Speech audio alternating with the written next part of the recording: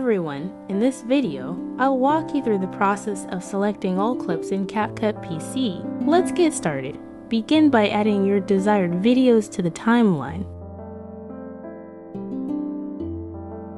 To select all clips, you can click and drag across the timeline.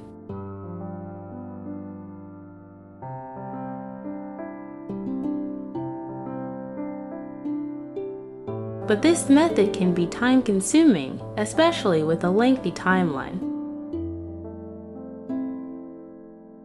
Instead, here's a faster way. Simply press CTRL plus on your keyboard.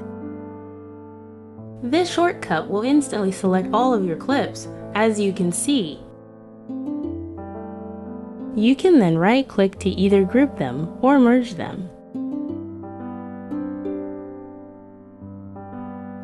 Pressing CTRL plus G will group the clips together while keeping them as separate entities.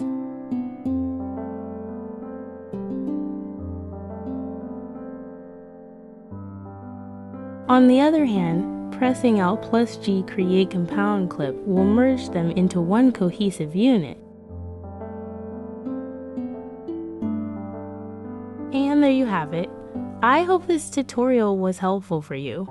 Please give this video a thumbs up, share it, and subscribe to our channel for more tutorials. Thanks for watching.